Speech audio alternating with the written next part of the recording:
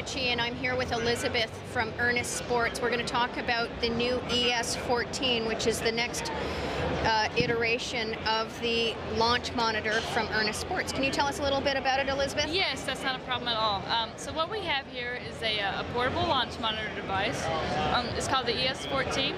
Uh, what it's going to give us, it's going to give us great data um, for our golf game. It's going to give us uh, club head speed, it's going to give us ball speed, um, smash factor, it's going to give us launch angle, um, spin rate, and, um, and total distance as well. Um, so what it does is it just simply syncs to an app onto your smartphone or tablet.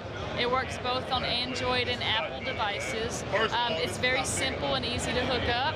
Only thing you do is just set it up via Bluetooth. Then you just get on your device, start your range sessions, um, and you're good to go. It allows you to save each range session. You can access them later on. Um, it gives you the option to email range sessions as well.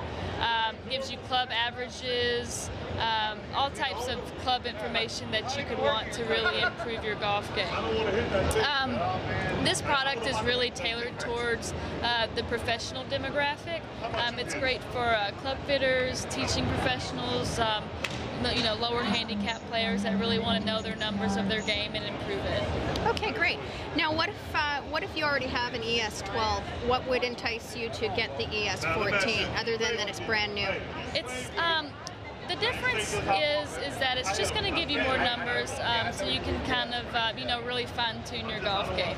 Um, we had a lot of people um, you know say that they wanted a little bit more in a device, so that's what we really strive to do was give us something that really um, was going to be able to compete more with uh, with the top level launch monitors. Okay, and at a fairly good price point too. A, a great price point. Right. So we're not talking thousands of dollars here. We're not even talking um, you know, it's 500. It's actually under 500. It retails for 450. Um, so it's very, very affordable for a lot of consumers out This is a uh, Doppler radar technology similar to the ES12, is that right? Yes, um, this too is also Doppler based. Um, so what it's going to do is it's going to grab ball speed as it goes by. Um, and then also it's going to use Doppler to uh, catch the club speed as well. Fantastic. And if someone already has an ES12, they would want to do that. Would that be helpful for something like club fitting, for instance? Yeah, it would be great for club fitting simply because it's giving you the numbers that you would want when you are, um, you know, uh, fitting for clubs. Um, the best part is is that we are going to release an app for it. Um, the app's going to be available um, on your device.